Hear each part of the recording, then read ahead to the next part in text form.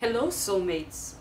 It is absolutely a pleasure to have you on my channel once more. If this is your first time checking out my channel, you are absolutely welcome. And on this channel, I teach you how to do DIY fashion at home. If this is your first time being here with me, please do not leave without subscribing. Turn on the post notification bell so that you'll be notified each time I make a video. So today I will be showing you how to make an off-shoulder bodice. Now this is a very trendy type of fashion that is wearing now and it would be so awesome if you knew how to make it at home. So to get started we have to take in consideration some measurements that we will need. These measurements are very important in order to get the perfect off-shoulder bodice. So the first measurement you're going to need is your round shoulder measurement. So you're going to take your tape measure and you're going to measure all the way around your shoulder. In this case, if you look at my sketch here, you see um, all the way around the shoulder area and that is 42 for me you're also going to need just to make it easy to find your neck width you're going to find your bra strap to bra strap measurement. Mine in this case is 12 you're also going to need your nipple point measurements there are also some specific calculations that you're going to do but when we get into the video then I will explain. So let's get started. So here I have the front of this bodice so I have some lines drawn but don't worry I'll explain to you what each lines are. So here I have my off shoulder. So that's where my off shoulder is going to start. So for an off shoulder bodice you always take off some inches um, of your main bodice in order to achieve this. In this case, I took off four and a half inches because when I when I want to finish sewing it up, if I'm gonna use this to turn with a lining, I want it to be five inches. So I took four and a half inches. So from that starting point right here, I'm going to put my four and a half inches. Then I'm going to take my vertical measurements all the way down. So here I have from my four and a half that I took off, I'm gonna have my chest line, which is 8.5, my bust point line, my under bust measurement, which is 14, and my waist and the seam allowance that I have left for this. So this is just the upper part of this um, bodice. You could extend it to make a dress by putting your hip line or you could make a um, to make a shirt or you could make a dress but you can also add a peplum to this using your half length okay so let's get started first thing I'm going to do is that I'm going to impute my nipple to nipple measurement. And I'm gonna put that at my waist. So I'm gonna treat this as if I'm working on my fabric. So at my waist I'm going to put four and a half inches. My nipple to nipple point measurement is is 8 inches. You divide that by 2 you're going to get 4 but I add half an inch seam allowance for to join it together. Okay? So I'm going to put four and a half and I'm going to draw that line. I also put it on my bust point line. And I'm going to take this all the way down. Okay? So at my waist I'm going to impute my dart measurement. So at my waist I want a dart of um, three quarter inch on both sides. So in all it's one and a half inch. Okay? So three quarter inch on my waist and at my under bust I'm gonna go in quarter inch remember I told you when we're drafting the bust here always going quarter inch so one inch at my underbust and I put it on both sides of that four and a half inch line now I'm going to connect those lines. Now I'm going to take my curve ruler and I'm going to take a curve from my bust point like this. And I'm gonna make another curve right here on the other side okay? So there you have your dart being formed.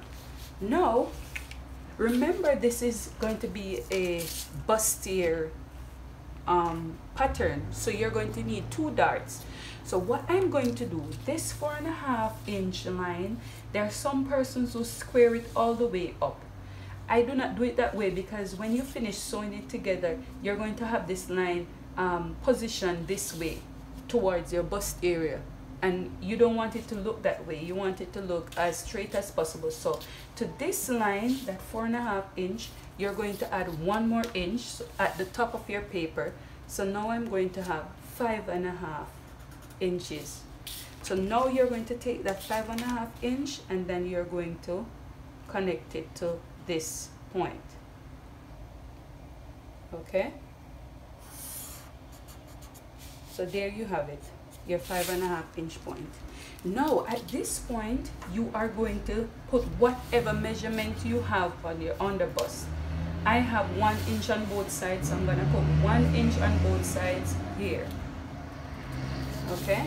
And I'm going to connect it to that bust point line. Okay I hope you understand what I'm doing. Okay so there you have it. Your darts are being made. Now we're going to put our vertical measurements in.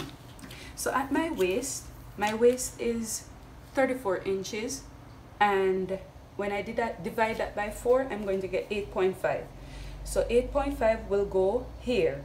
But then I have these two darts that I took out and that's one and a half inch more so 8.5 is here. Plus this one and a half inch dart that I took out right there so I'm, I have to pay that back. Plus I'm going to need seam allowance to join the panels together so that's one inch. And then I'm going to need side seam allowance that is another inch. Okay so let me do that again. My 8.5 which is my waist. This dart measurement here which is 1.5 that's what I have right here then I need one inch to join the panels together plus another inch to join the sides of my dress or my bodice. So at my bust point now, I'm going to impute my bust, at my chest measurement, I'm going to impute my bust, bust measurement. So my bust is 42. Quarter 42 is 10.5, okay? So 10.5 will be here, okay? But then I will have to take in consideration this dart that is here, which is 3 quarters of an inch. So you're going to add that back right here. Plus you need 1 inch to sew it together. That's here. Plus you need another inch for the side seam allowance. That's right there. Okay, I hope you understand what I just did.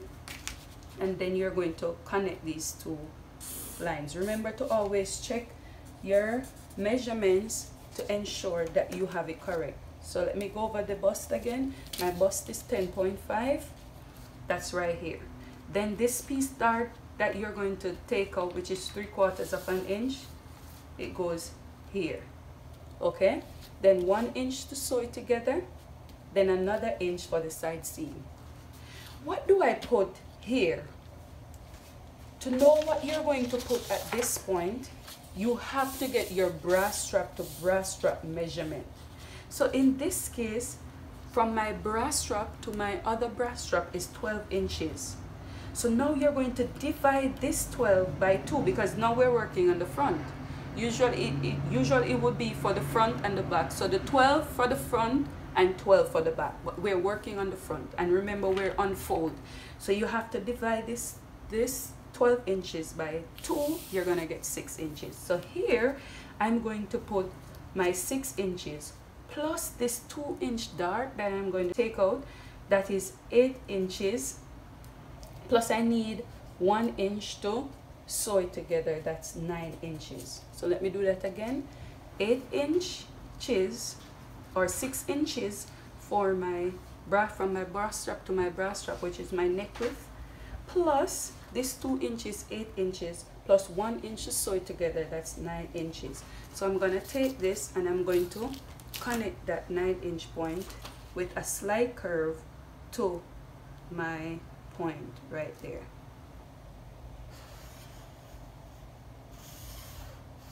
there you have it.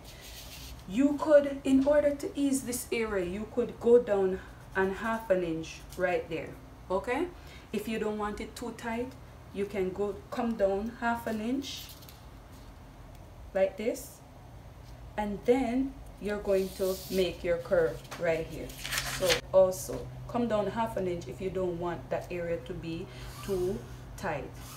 So there you're going to have it so this is your front um, bodice. So for the neck width the neck width you're going to determine whatever neck width you want okay? You could you could draw it here and take it down or you could have a V neckline or a sweetheart neckline. But to get your neck width remember you took off four and a half inches. So if you want a neck width of um, six inches it's going to be here. Because remember you took off the four and a half from the front okay? Or if you want seven inches it doesn't matter it depends on you. So to get a so you're going to go like that. But I would advise you do not cut off the neck width before you join your darts together join your darts first and then you cut out your neck width afterwards okay? So now what I'm going to do is that I'm going to cut this out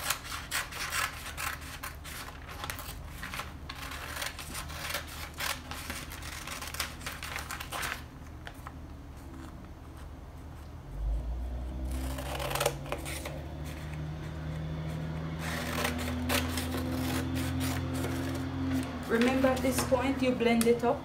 I was supposed to tell you blend it so that you don't have sharp edges okay? You don't want it too sharp at that area. And also this area right there. Okay?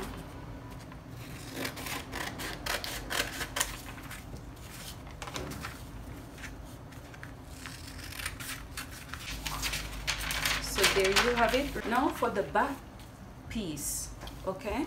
Remember you have to leave uh, um, your zipper allowance. So here I have my zipper allowance.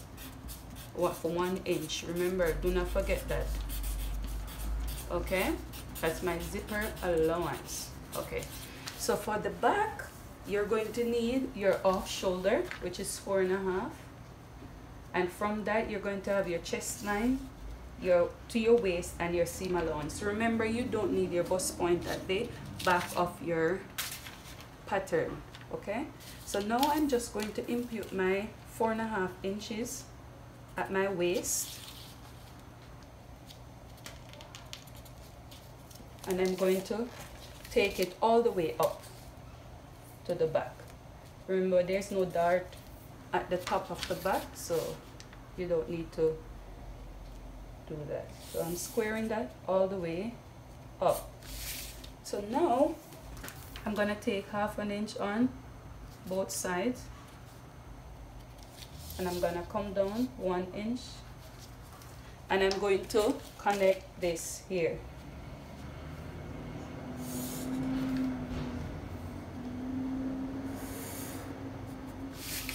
So now you're going to put your measurements, your, your vertical measurements. Mine is 8.5 for my waist plus this 1 inch, 9.5 plus 1 inch to sew it together.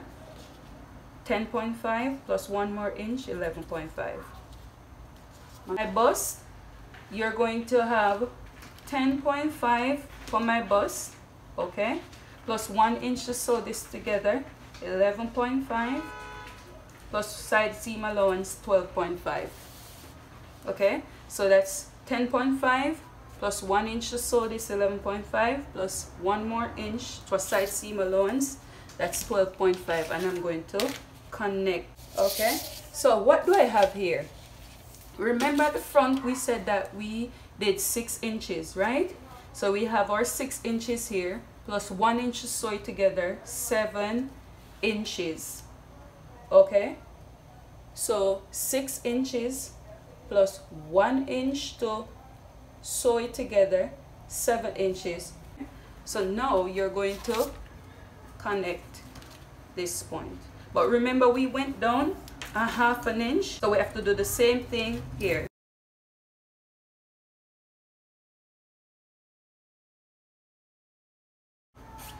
And that my friends is the back of your measurement it's as easy as that. So now I'm going to cut this out. So now I'm cutting this out.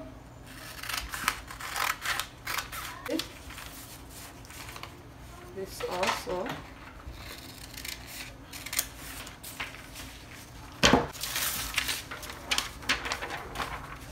To slit the back open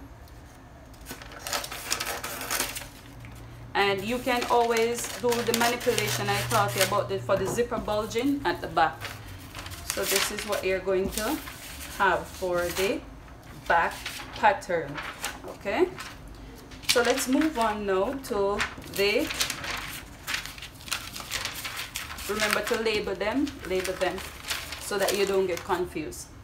So now for the sleeve so in order to get your sleeve you're going to take your length of the sleeve you want right? So that's my length 10 and a half. Then I'm going to impute my cap side measurement. Remember I teach you how to take cap side measurement so go ahead and take your cap side measurement. And I'm going to connect that line okay? So on my cap side measurement I'm going to put my half of my armhole plus one inch so that's 8.5 plus one inch that is 9.5 okay? And at my this area I'm going to put my around my arm which is six inches my arm is 12 okay? Uh, plus one inch to sew it together. And I'm going to connect this point okay now at this point, remember, now you're going to need your round shoulder measurement. Remember we said my round shoulder measurement is 42 and my bra strap is 12. 12 for the front, 12 for the back. So that is 24 inches. So now I'm going to take away 42 minus 24. That's going to give me 18 inches. Okay, so now this 18 inches, remember we said that we are going to, we are going to, um, we didn't do joining allowance for, for that. We just use the six inches, right? So we have to take away two inch from this, okay? And that's going to give us 16 inches. So let me go over that back. So you have 42 inches right? That's the round shoulder. You're going to take away your your bra strap measurement, which is 24, you'll get 18. So when you get this 18, you have to take away two inches because remember we didn't um, add joining seam allowance to this pattern. So now you'll have 16. All you have to do is divide this by four and this is going to give you four inches. So this is what you're going to put here, but then you're going to need seam allowance of half an inch. So now you're going to put on this point four and a half inches. So that's what I'm going to put here.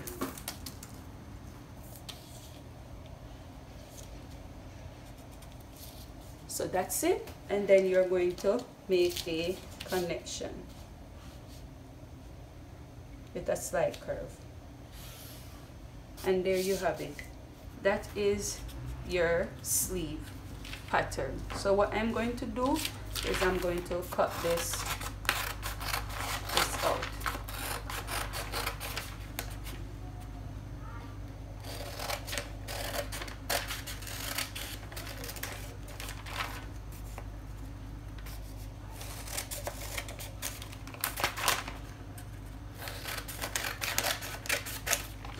So this is your sleeve pattern. And this is the front the back rather. So so this is the back and this my friends is the front of the pattern. So if you find this video helpful do not forget to subscribe. Leave a comment in the comment section. Give me a thumbs up and guess what? I will see you in my next video. Take good care and god bless you all